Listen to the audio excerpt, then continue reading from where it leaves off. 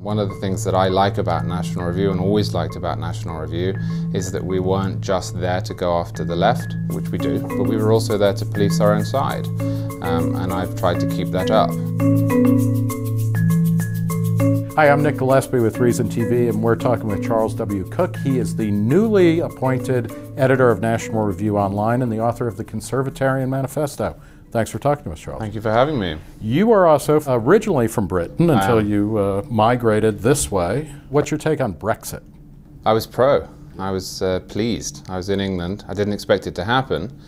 I'd hoped it would happen for probably 20 years, long before I was political, actually. Is there anything good about the EU? Um, that gets lost if England moves out of it? That's the debate. So I'm going to tell you first why I was in favour of it, and then we can come on to that because sure. that's a really important point.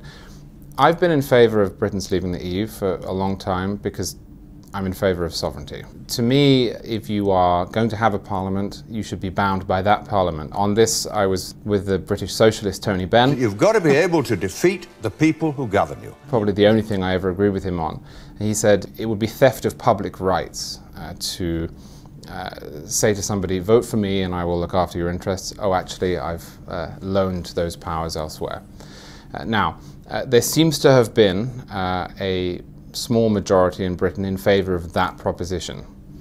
But there's now going to be an almighty fight as to what the Parliament does with that power when it's repatriated. But I think for many people who voted for it, this was a question of outcomes. They thought, well, if we leave the EU, we get rid of free migration. If we leave the EU, we get rid of the free trade agreements.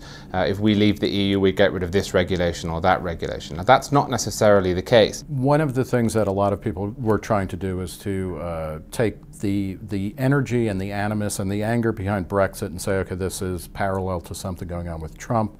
National Review back in December, of course, came out with the Never Trump issue. Is there a meaningful parallel between these events or the energy? And if it's good to Brexit in England, is it, you know, does that mean that Trump should be given a second look in America? On the latter question, no. There is a parallel, but there's also a difference. So the parallel is that some of the people who voted for Brexit are annoyed with uh, what they think of as negative globalization, they're annoyed with immigration, they're annoyed with free trade. Um, they think that Britain is being sold out to this invisible cabal. And I think you see that within the Trump movement. Um, where it's different is there's also a lot of, uh, if you will, never Trumpers who would have been pro Brexit because they would have believed in uh, old fashioned ideas like sovereignty, uh, of sort of constitutional integrity. I don't think personally it helps Trump. Firstly, Britain is a different country, has a different culture.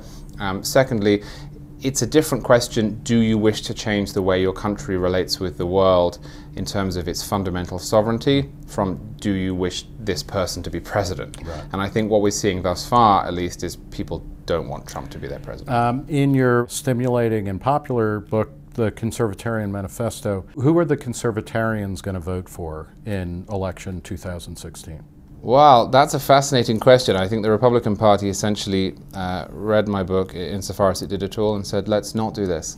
Um, so anyone who liked the book, I think you're giving them too much credit for reading. But anyone who who uh, who liked the book probably is not voting for Trump. I think that Gary Johnson is popular, but I also think there are a lot of people, at least in my email inbox, would suggest there are a lot of people who read my book who want to reclaim the Republican Party, but certainly can't do so until November. You were recently named the uh, editor of National Review Online, which was uh, really one of the first and still one of the best, most uh, certainly most traffic, but also most provocative websites for a political magazine. What direction do you see the uh, site moving under your editorship, and what are areas, new areas, or new uh, writers, new things that you're looking to do?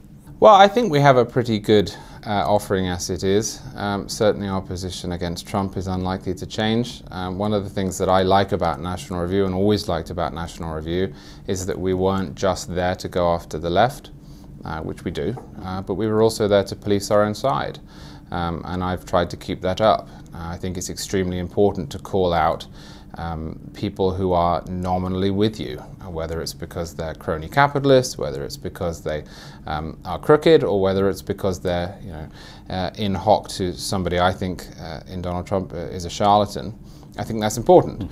Also, I have a slightly more libertarian bent, so um, that'll probably shine through a little bit. National Review has always been uh, a, magazine and a website that is uh, included a, a, number of viewpoints. I hope that will continue. Um, but you know, the editor probably has some stamp on it, so uh, it should move slightly more in the libertarian direction. But I, I can't imagine that it will change too much because I think it was pretty good in the first place. All right. Well, thank you. We'll leave it there. Thank you. We have been talking with Charles W. Cooke of National Review. He's the new editor of National Review Online and the author of the Conservatarian Manifesto. Thanks so much for talking. Yeah, thank you for having me. For Reason TV, I'm Nick Gillespie.